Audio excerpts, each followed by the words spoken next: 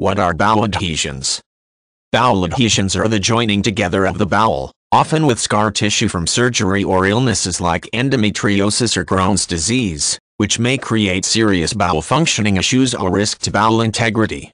Though most people only develop minor adhesions after any type of bowel surgery that poses no risk, sometimes the joining is significant and causes partial to total bowel blockage.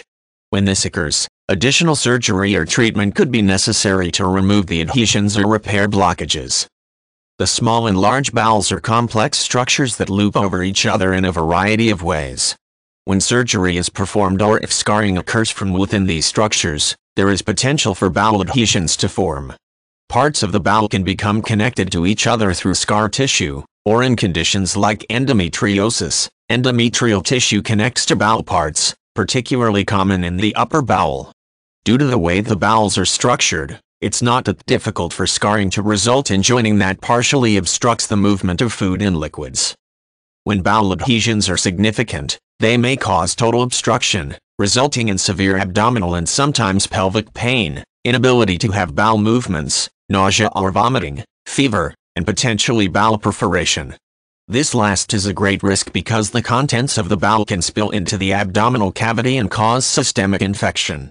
Suspected bowel rupture or perforation is medically urgent, and the other symptoms described above need immediate treatment, too. Given the risks of bowel perforation, claims of having bowel adhesions or obstruction are usually taken quite seriously by physicians.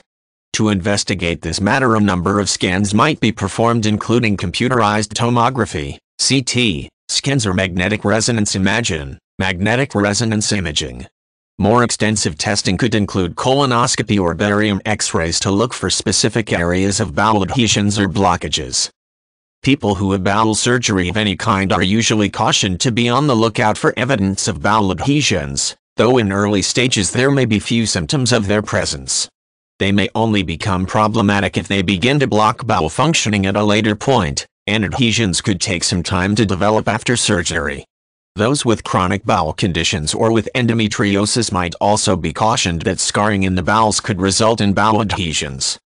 When adhesions prove problematic and threaten to or are already obstructing the bowel, the standard of care is to remove them surgically. Those with significant scarring from Crohn's disease may simply developing more scarring from surgeries and end up needing bowel resections repeatedly to control this condition. Some doctors feel that non-surgical approaches to Crohn's are better for as long as possible to avoid this slippery slope. Each case is highly individualized. For some, surgical treatment to remove adhesions is the appropriate course. Surgery is definitely necessary for total bowel blockage or perforation, as without it, these conditions can be fatal.